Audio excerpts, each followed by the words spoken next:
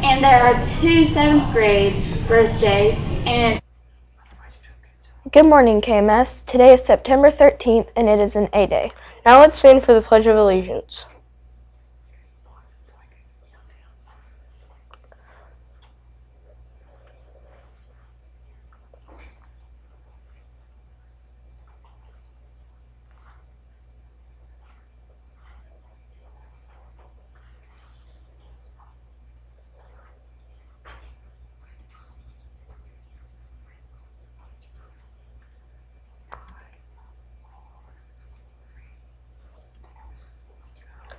Have you heard about Gates' new project? No, I haven't. Let's learn more. Remember to bring in your belts to your seminar teacher. The winning seminar will get a pizza party, and the teacher will get the whole seminar off. The contest ends September 29th for the 6th graders and for the 7th graders. It ends September 21st.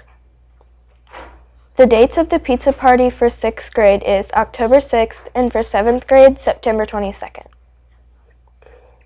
Now let's go to birthdays and lunch with Jalen and Kara.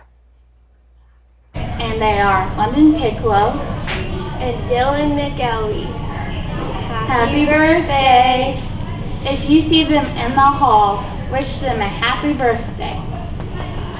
Now Now back to the studio with Justin and Zach.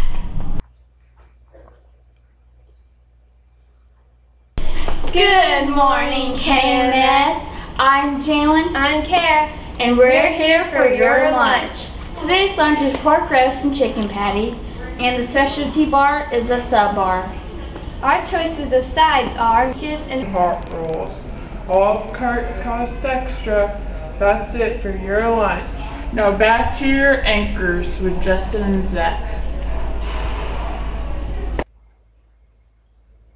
Hey KMS, I'm Jalen and I'm Kara. and we're here for your birthdays. There is one sixth grade and it's Emma Dufftree.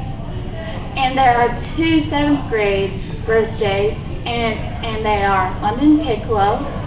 and Dylan McElwee. Happy birthday! If you see them in the hall, wish them a happy birthday. Now Now back to the studio with Justin. Happy birthday, birthday, everyone. everyone.